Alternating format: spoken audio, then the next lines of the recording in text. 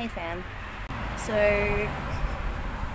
we're settling into our house pretty well. We've got a bit of an update for you on our setting up. But basically our update today is more about what's happened over the last few weeks.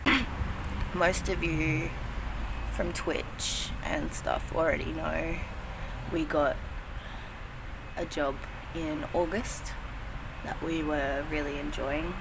We were there till about two weeks ago. Yeah, basically it was going really well and um, we made one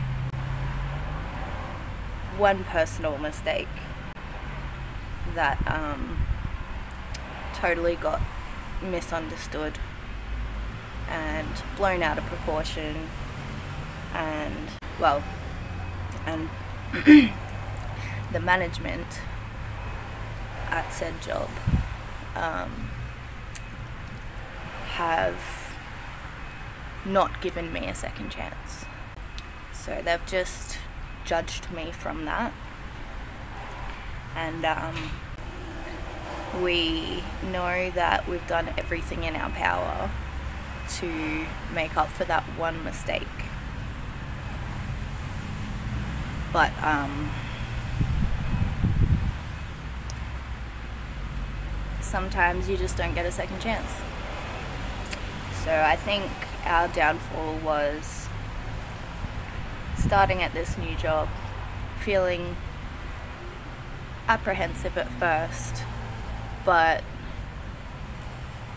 very generally welcomed and we were really starting to connect with the staff and really enjoying it there.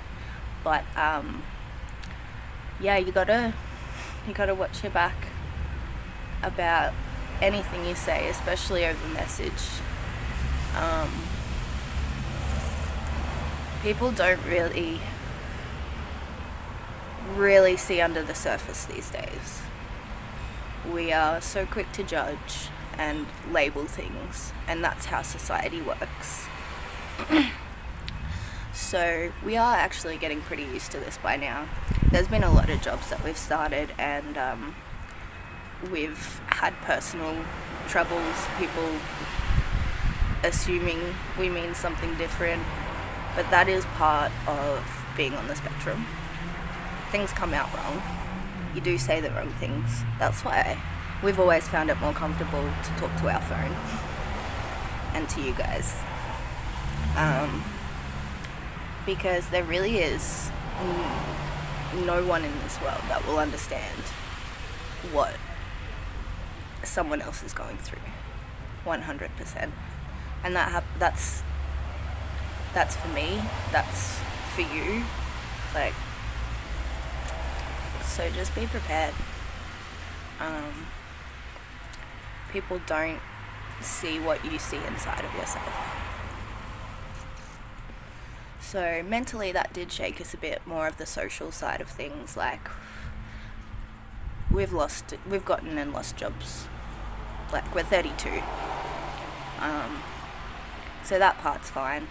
It was more so the um, starting to think we were actually getting some friends and that we were that we might be supported by a group of people here and that we found our collective, but um, that's obviously not the case.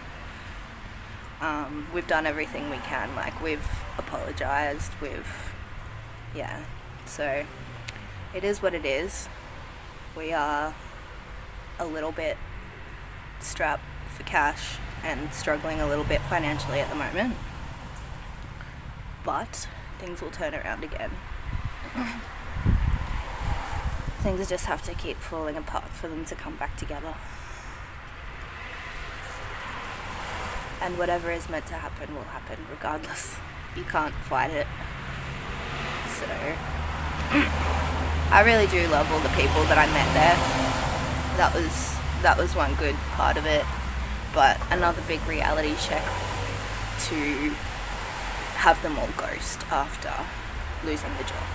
But that's totally natural too. I didn't want to make anyone feel awkward there by trying to pursue a friendship if they felt conflicted.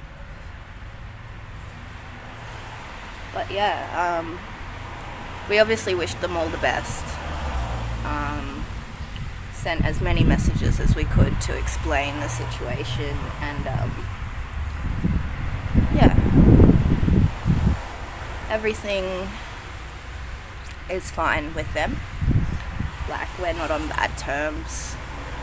Um, it just is what it is when you lose a job and you lose the friends that you were making in that job. So um, we're just glad to have all of you guys out there still watching these weird vlogs.